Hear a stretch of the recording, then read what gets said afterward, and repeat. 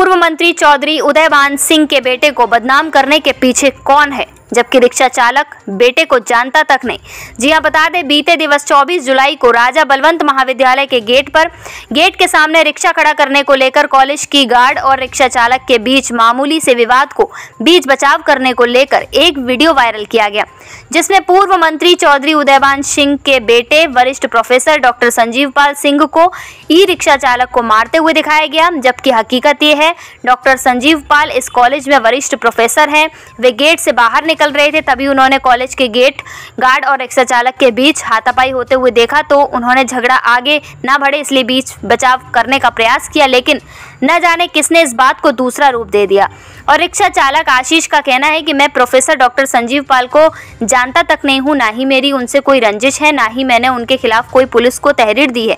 कहा कि मुझे तो दूसरे दिन समाचार के माध्यम से पता चला, पूर्व मंत्री चौधरी उदयवान सिंह के बेटे प्रोफेसर डॉक्टर संजीव पाल का नाम मेरे से जोड़कर राजनीति का खेल खेला जा रहा है। जबकि कहा कि मैं इस बात से अनभिज्ञ हूँ और मेरा परिवार और मैं आश्चर्यचकित हूँ कि मैं किसी के खिलाफ कोई पुलिस को तहरीर नहीं दी, सिर्फ़ अज्ञात के रूप में दी है। वो भी मेरे साथी रिक्शा चालक मुझे बरगला कर तहरीर दिलवाने ले गए। इसी बात को लेकर आज कहा कि मेरे द्वारा अपनी बात को स्पष्ट रूप से लिखने के लिए मीडिया का सहारा लिया, जिससे मैं अपनी बात आप बीती मीडिया के माध्यम से सभी को बता सकूँ, यह सब किसी के दबाव में नहीं, सिर्फ़ और सिर्फ़ हकीकत सामने लाने के लिए मैंने मीडिया का सहारा लिया। कहा कि मुझे षड्यंत्र के तहत राजनीति का शिकार कौन बनाना चाह रहा है, ये भी मुझे नहीं पता। कहा कि मैं रिक्शे के द्वारा मजदूरी करके अपने बूढ़े माता पिता और भाई बहन का पालन पोषण कर रहा हूँ। मुझे किसी से कोई शिकायत नहीं है। कहा कि आज मैंने अपने परिवार सहित मीडिया के समक्ष हकीकत को सामने रखा। क्या नाम है तुम्हारा? निवासी कहाँ की हो। पति का नाम क्या है? कहाँ रहते हो? सुभाष नगर बालाजी ये इनका नाम क्या है तुम्हारे भाई का? आशीष। ये भाई है आपके छोटे? हाँ। ये चौबीस जुलाई का जो मामला है वो क्या मामला था? मामला कुछ गार्ड से मजूरी हुई थी गार्ड से किसकी हुई थी? छोटे वाले भाई की आशीष की आर कॉलेज पे। मुझे बात को लेकर? मुझे तो इनने फ़ोन पे बताई थी भैया ऐसे से बात है तो मैं फ़ोन पे सीधे इसके पास चला आया। किस बात को लेकर हुई?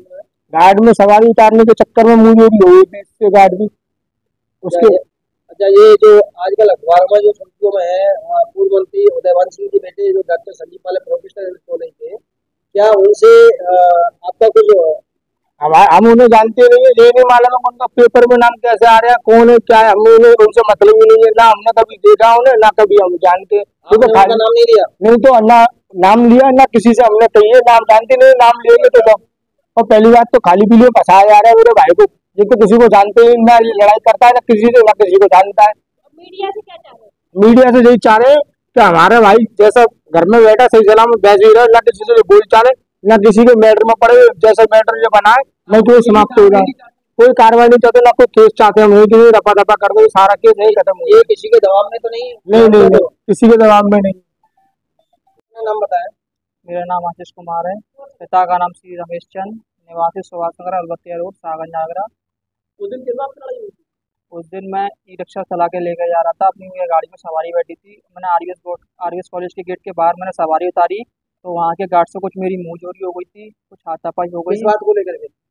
उसी बात के सवारी के चक्कर में सवारी मैंने उतारी चढ़ाई हुई उसने कही थी थोड़ा आगे पीछे कर लो। तो इस चक्कर में थोड़ी उनसे मुँह हो गई थी मेरी खाली गार्ड से मुँह जोरी हुई थी। उसमें कोई तीसरे व्यक्ति का भी आगमन हुआ था? जी नहीं। तो वो ये मामला थाने तक कैसे पहुँचा? जी वो थोड़े साथ के लोग थे जो ई रिक्शा चालक मेरे साथ के लोग थे। उन्होंने उनके कासुनी में आके मैंने कंप्लेंट जाके लिखा दी थी। कंप्लेंट में मैंने किसी का नाम नहीं खोला है। एक कंप्लेंट में मंत्री जी का नाम मंत्री जी के बेटे का नाम कैसे आ रहा है मुझे नहीं पता। क्या मंत्री जी के लड़के को आप पहचानते हैं? जी नहीं। क्या जानते थे? जी नहीं।